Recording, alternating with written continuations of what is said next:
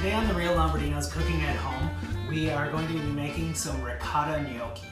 Now we're still under quarantine and we're taking the COVID-19 virus very seriously. We urge you all to stay at home, but we're not taking ourselves very seriously.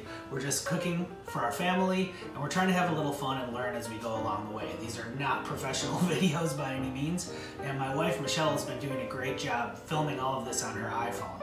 And we're gonna get to meet her today as she helps me roll out some fresh gnocchi. So putting the dough together for our ricotta gnocchi, I'm gonna start first with my pre-measured ingredients. I have two cups of ricotta here. I'm gonna throw those into a big bowl, scrape that out. Half a cup of grated Parmesan. I happen to have some Parmigiano Reggiano. You can use any Parmesan, Pecorino, any hard grating cheese that you have. One and a half tablespoons of extra virgin olive oil go in there. And we're gonna add two eggs. We're gonna mix all these together and then fold some flour into it. So get this all mixed up,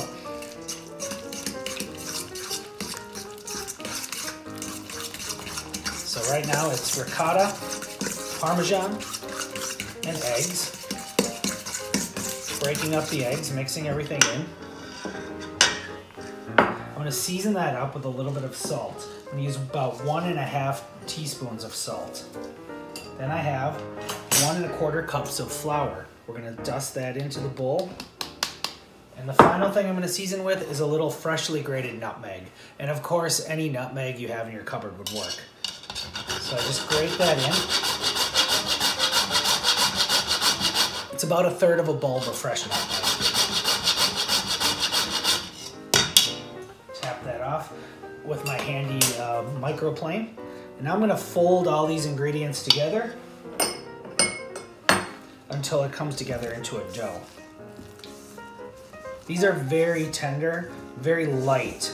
Gnocchi are kind of a dumpling from northern Italy, traditionally made with potatoes, mashed potatoes, but this uh, version is also called a gnudi, G-N-U-D-I, which means basically the filling of a pasta without the pasta wrapper around it. So it's really a nude. So we're gonna let this come together into a ball. We don't wanna work it too much, just until everything's incorporated. And then we're gonna let it rest for about 20 minutes before we come to the counter here and roll them out. So I have it all together. I'm gonna dust my counter with a little bit of flour.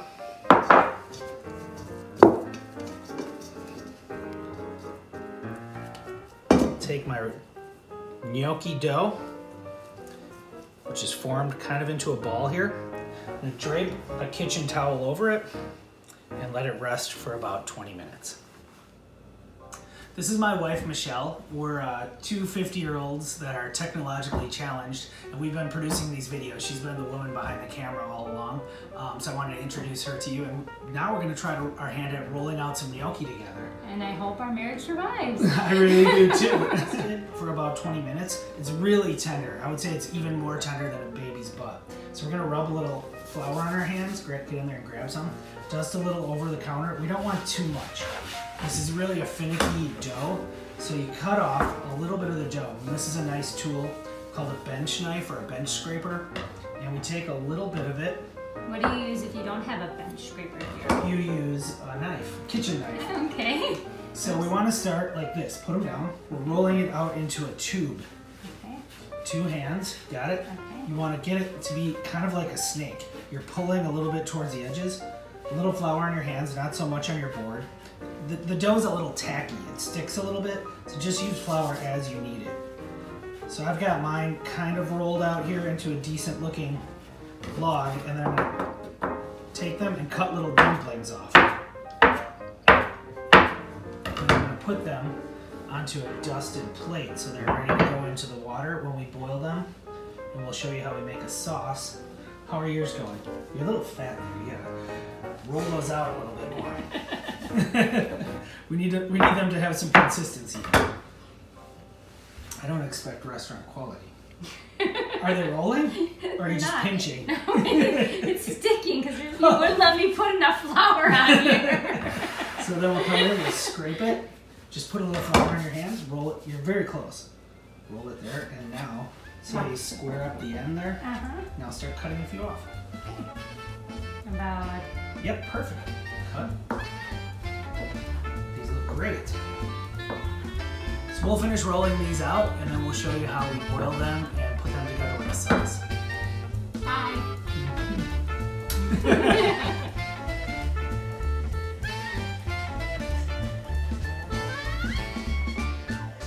So we're gonna put together a sauce for our gnocchi. They only take just a minute to boil, so we're gonna start the sauce first. What we start with is some extra virgin olive oil and two cloves of minced garlic. I wanna put those in the pan. Just get a little sizzle on them and then they're pretty much done. I don't want garlic to burn. That's the number one rule in my restaurant. Then off the heat, I'm gonna add a little bit of white wine. In this case, I'm just using some dry vermouth. That's all we have in the house. And we're gonna add some tomato passata. Passata means past. So this is a puree of tomatoes from Italy. Our passata is in the pan with our garlic and our olive oil. Gonna bring that up to a simmer. And then I wanna spice this dish up a little bit. Uh, you could use some red chili flakes, but I have this great sambal chili paste, so a little cross-cultural spice goes in there. We'll stir those chilies in.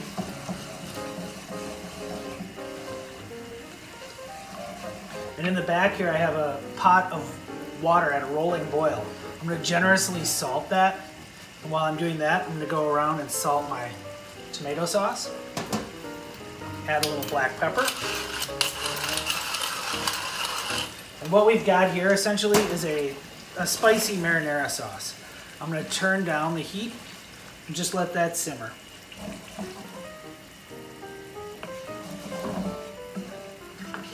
Now we're gonna boil off our gnocchi.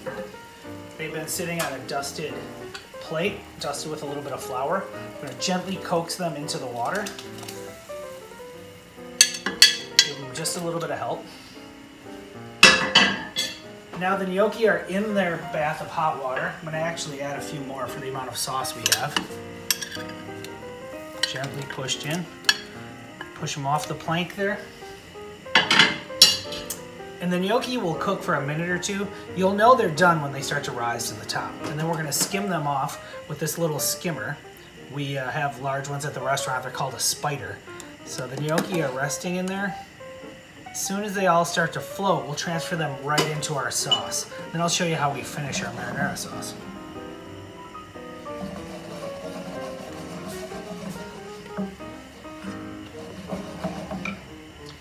So this sauce, I raised the heat up a little bit. We want that simple flavor of garlic and chili to come through. And the way we finish it is with a little butter to add some richness. And traditionally I would throw some fresh basil into there. But because we're on the COVID lockdown, we don't have basil, we have some fresh mint in our house. Mint in the same family, along with the chili and the tomato, is a really nice flavor. Oh, my gnocchi are just starting to rise to the top. You can see them. They're really delicate. I'm gonna let them rise to the top. Maybe that water will just return to a gentle boil, and then we'll add them to our tomato sauce.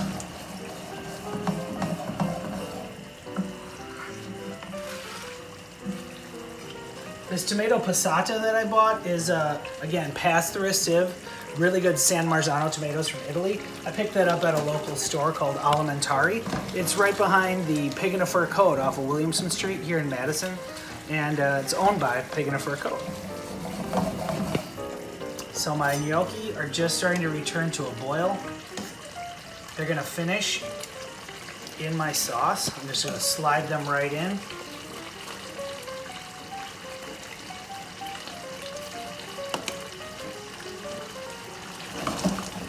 Turn our sauce down just a little bit.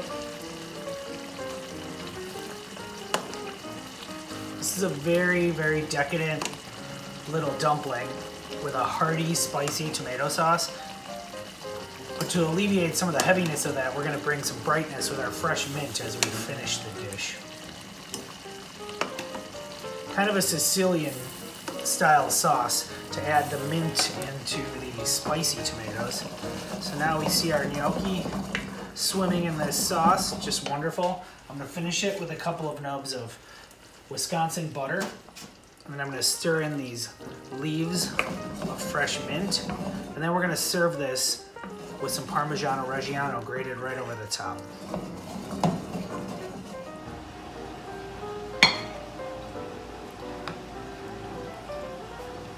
Ladling up my gnocchi, a little spicy marinara sauce.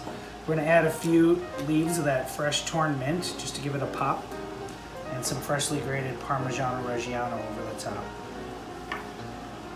Well, thanks for joining us at Cooking at Home at the Real Lombardinos. Now give this a try, Michelle. Is this what I get paid? yeah, this is your payment right here. what do you think? Mm. It's really delicious. I love the mint in it. I never think to put mint in it. Yeah, it's really Really refreshing, and those gnocchi just kind of melt in your mouth. So so nice to finally have you. Never cook at home. Thanks a lot. Good night. Thank you.